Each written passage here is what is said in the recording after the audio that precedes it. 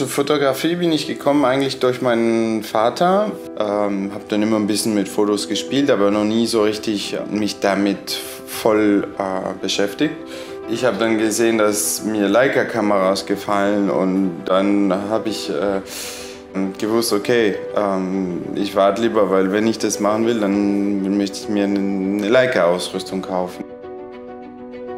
Ja, ich fotografiere beides, digital und analog. In Tokio gibt es mega coole Läden, wo die wirklich perfekte gebrauchte äh, Kameras haben. Dann habe ich mir eine Leica M6 äh, zugelegt und habe ich einfach ähm, angefangen, ein bisschen Film zu fotografieren mit Schwarz-Weiß und mir ist schnell aufgefallen, dass irgendwie ist der Moment äh, viel zeitloser oder für die Ewigkeit mehr festgenommen. Ja, ich war, war sehr überrascht, wie die Bilder mehr, mehr Leben haben gutes Bild in der Fotografie ist natürlich der Moment, was das, das ausmacht. Muss man halt ähm, auch ein bisschen Glück haben, im richtigen Moment am richtigen Ort zu sein.